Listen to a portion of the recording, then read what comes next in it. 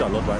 จอดรถล่าสุดอะประมาณ6โมง6โมง40พี่หกโมงสี่สิบ6โมง40 แล้วก็รู้ว่ารถหายเนี่ยประมาณทุ่มทุ่มครึ่งอ่าทุ่มครึ่ง แต่ว่าดูจากกล้องที่มันมาเอารถเนี่ยก็สักประมาณเกือบเกือบทุ่มอะครับอ๋อประมาณไม่กี่นาทีจะทุ่มแล้วที่รถอืมที่มันมาเอาอ่าก็พอหายเนี่ย ผมก็ ขับตามเลยตอนนั้นก็ขับรถวนในตลาดเลย ก็ไม่เจอครับไม่เจอก็ไปแจ้งความ แล้วก็มามาขอคลิปที่ร้านทองเขาก็ให้คลิปมาเนี่ยมาแจ้งความที่ตู้หรือว่าที่ที่ที่นู่นเลยพี่สพภูคตเลยตบเอาโคตรเลย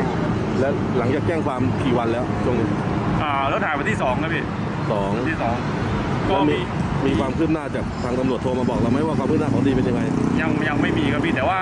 ตอนแจ้งความก็ทางร้อยเวรก็มาเลยนะครับร้อยเวรแล้วก็สืบก็มาอืมก็มาถามรายละเอียดอะไรเงี้ยครับโอ้แล้วก็เขาก็เดี๋ยวเดี๋ยวเขาจะติดตามให้จ้ะแต่ก็ยังเงียบอยู่ ยังเงียบอยู่ ครับ แล้วเราก็เลยฝากไปลงโซเชียลอะที่ใช่ครับเพราะว่าใครจะรู้จักอะไรฝากเงี้ยนะครับฝากใครไปลงในโซเชียล อะแฟนครับแฟนเอาไปลงอ๋อ ลงในข่าวสารของเมืองปทุมอะนะใช่ครับเผื่อว่ามีใครจะรู้จักใครพบใช่เห็นใช่ครับเผื่อใครจะเห็นใครจะรู้จักใครจะจำได้คนร้ายมันได้อะไรเงี้ยครับผม แล้วได้ข่าวไหมว่าโจรสองผัวเมียนี่มันเอาบ่อยไหม คือผมไปดูกล้องของตลาดอะนะพี่ ครับ ตลาดก็บอกว่ามันเคยมาเอาแล้วที่ซอยในตลาดเนี่ยซอยสามแล้วอืม ไอ้สองคนนี้เลยอ่าเนี่ยครับผมอ๋อ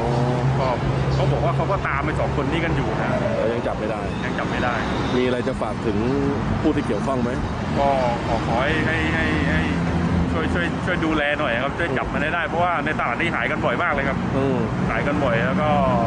หายแล้วก็ไม่ไม่ไม่ค่อยได้คืนอยู่แล้วก็หายเลยเสียร ถเรามีประกันอะไรไหมพอผมโชคดีผมมีประกันรถหายอยู่อ๋อครับผมรถกี่ปีแล้วครับ รถที่เข้าปีที่สองพี่ก็ซื้อมาก็ได้ปีกับหนึ่งเดือนเนี่ยหายเลยอืมครับผมร้านผมจะจะอยู่ข้างๆเนี่ยครับ แล้วก็อันนี้ก็จอดรถก่อนทิ้งไว้ตรงนี้แล้วก็อ่ามันจะหายอยู่ประมาณสักประมาณเกือบเกือบทุ่มนะครับเนี่ยเนี่ยสองคนเนี่ยวัยรุ่นสองคนเนี่ยที่อยู่ที่ทางเนี่ยก็เหมือนเดินเข้าไปดูลาดราวหน่อยหนึงแล้วผู้หญิงก็ขับไปรอ แต่รถมันไม่ได้ล็อกคอไงพี่ถ้าล็อกคอมันก็อาจจะช่วยได้ระดับหนึงมันมันมันเดินเข้าไปข้างร้านนะแต่ว่าคนที่ร้านมันไม่สังเกตรถไงเพราะรถมันมันบังเหลี่ยมอยู่หน่อย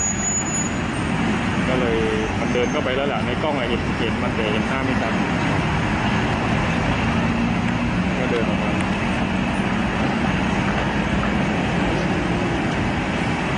เดินออกมา มันก็ใจ เย็นมากเลย